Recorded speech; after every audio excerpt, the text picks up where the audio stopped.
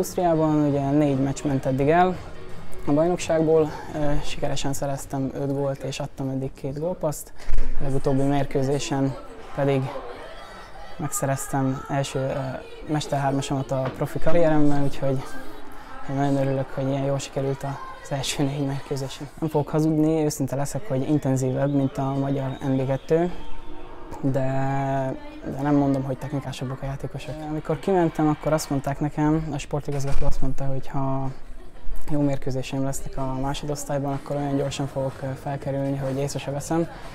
Hát úgy érzem, hogy, hogy jól kezdtem a bajnokságot, úgyhogy remélem, hogy minél hamarabb be tudok majd mutatkozni, de először a rövid távú célom az, hogy minél több gólt szerezzek és gólpaszt adjak a második osztályra.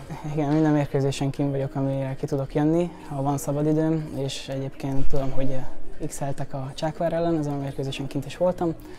Az idegenbeli mérkőzéset pedig néztem az interneten, a livestreamen, úgyhogy nagyon szurkolok nekik és a mai mérkőzésre is. Sok sikert kívánok a csapatnak!